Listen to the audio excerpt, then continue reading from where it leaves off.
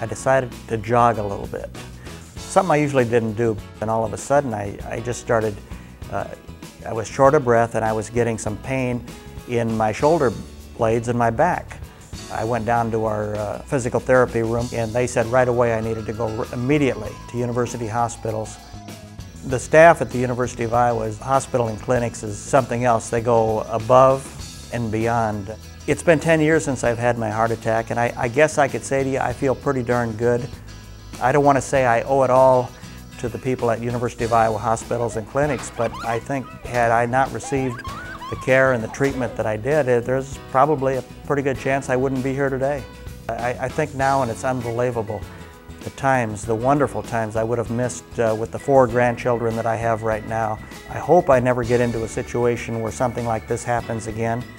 And if it ever does happen, I hope I'm never in another town because uh, University of Iowa hospitals and clinics is the place I'd want to be. If anybody is able to detect something that's wrong with you, they're probably going to find it quicker than anybody. I'm glad I was so close to University of Iowa hospitals and clinics.